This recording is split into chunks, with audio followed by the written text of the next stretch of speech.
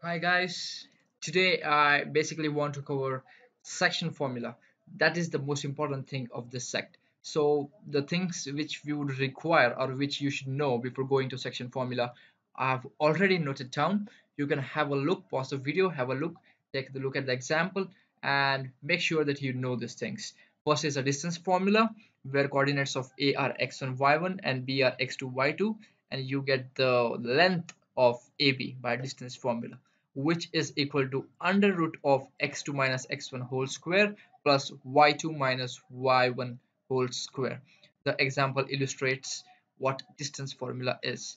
The other part is midpoint formula which gives you the coordinates of the midpoint of a line section where the coordinates of A are x1 y1, B are x2 y2 and C is the midpoint of AB.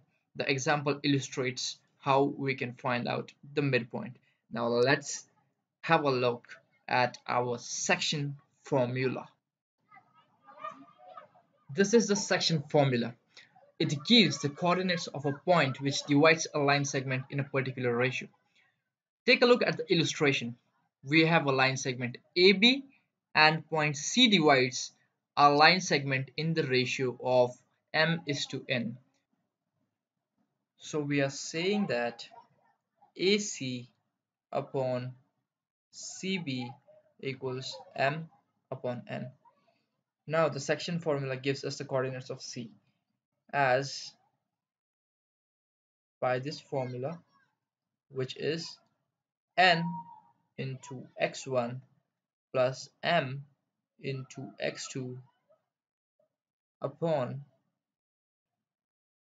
m plus n correspondingly similarly for the y coordinates n into y1 plus m into y2 upon the sum of the ratio m plus n.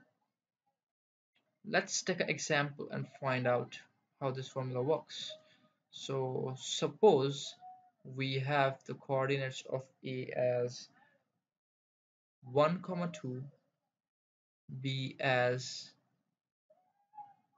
6 comma 4 and the ratio m is to n equals 3 is to 2 so the coordinate of C will be 3 into 6 plus 2 into 1 upon 3 plus 2 and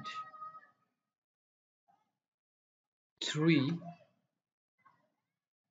into 4 plus 2 into 2 upon 3 plus 2 so which it gives us 18 plus 2 by 5 comma 6 16 by 5 I jumped up a step over here. 3 plus 4 is 12 and 2 into 2 is 4 so 12 plus 4 is 16 16 by 5 so finally we get the coordinates of C as 20 by 5 and 16 by 5 which is 4 comma 16 by 5 so this is the example of a section formula but there is one more aspect of section formula this type of problem is called internal division which is solved by sectional formula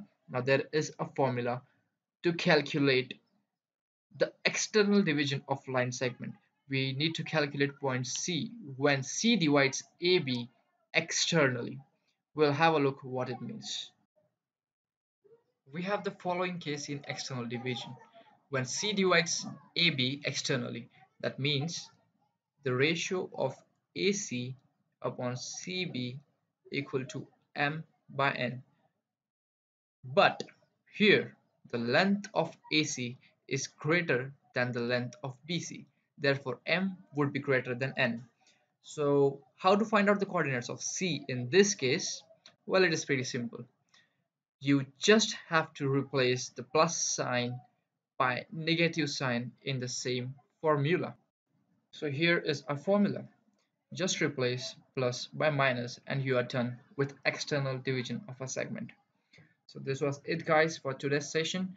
I hope the section formula is clear. If not, leave your comment. I will try to get back to you and tune in, like, share and subscribe for more such videos, more coordinate geometry coming soon.